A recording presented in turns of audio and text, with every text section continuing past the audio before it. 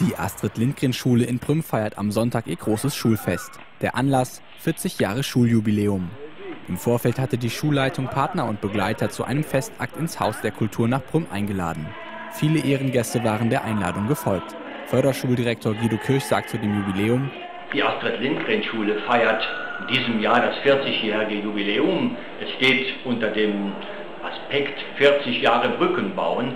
Brücken bauen für Menschen, die es nicht immer leicht haben im Leben, die besondere Hilfe brauchen. Und wir freuen uns sehr, dass wir in diesem Jahr auf 40 Jahre erfolgreiche Arbeit zur Eingliederung von Menschen mit besonderem Förderbedarf arbeiten können. Der Direktor begrüßte die Gäste, einige Ehrengäste wie Hubert Weiß hielten Ansprachen. Im Anschluss führten die Schüler Theaterstücke auf oder sangen Lieder. Auch die Lehrer hatten eine Theater AG gebildet und zeigten, wie die Schule früher einmal aussah. Schulelternsprecherin Birgit Pallay überraschte den Förderschuldirektor mit einer großen Torte, die mit Bildern aus der Schule verziert war. Die Anfänge der Förderschulen in Prüm reichen 41 Jahre zurück. Vor vier Jahren wurden dann die Albert-Schweitzer-Schule und die Helen-Keller-Schule zusammengelegt und es entstand die heutige Astrid-Lindgren-Schule.